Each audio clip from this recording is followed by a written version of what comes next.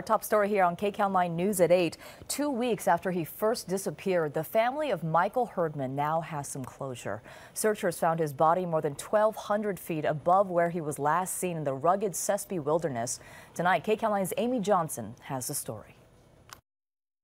Our hearts and our sympathies go out to, to, to, Mike and his family. The search for missing Arcadia firefighter Mike Herdman came to a tragic end this morning. Mike's body was located approximately three quarters of a mile and about 1,200 feet above where he was last seen in the Sespe River bottom.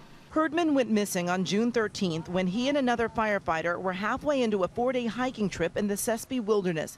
Herdman reportedly ran after his dog Duke barefoot at night and seemed to have just vanished. Search crews covered some 58 square miles and found his dog, but no signs of Herdman until 10 this morning when a Ventura County Sheriff's Office pilot hovering over a search area spotted something suspicious. I climbed out and ascended uh, into an area that you know, I spent a few minutes searching that I figured would do some good.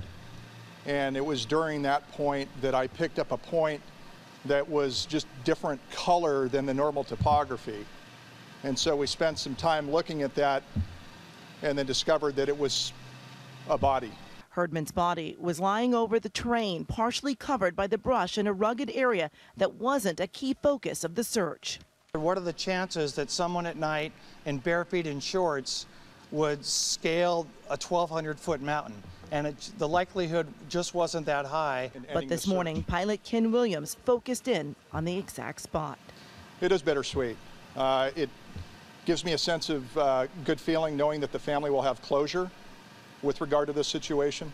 Dental records were used to make the positive identification, and now an autopsy will determine the exact cause of death. But the sheriff reiterated they do not suspect foul play. In Camarillo, Amy Johnson, KCAL 9 News.